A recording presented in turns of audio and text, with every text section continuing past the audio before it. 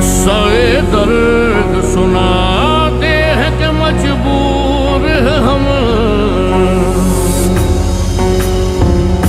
साज खामोश है